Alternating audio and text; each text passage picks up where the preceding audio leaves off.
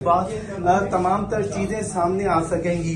आमिर लियाकत के घर के बाहर इस वक्त बड़ी तादाद में लोग जमा होना शुरू हो चुके हैं क्योंकि इन्हें इतला मिली है कि आमिर लियाकत की तबीयत काफ़ी ज़्यादा नासाफ है। इस रूम में रह रहे और ये तमाम तर मेरी बात सुनेंगे आप?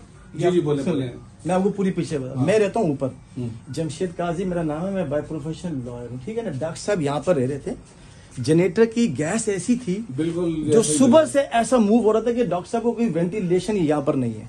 ठीक है ठीक है? जिसकी वजह से मैं ऊपर था तो हमारी आजकल कोर्ट की वेकेशन है तो ऐसा हुआ कि वहाँ पर वो लोग आए वहाँ पर लोग शोर करने लगे- कि डॉक्टर साहब की की तबीयत सही नहीं है। उनको फिर यहाँ से लेके गए मुझे लगता है वो उसी टाइम वो एक्सपायर हो गए ठीक ठीक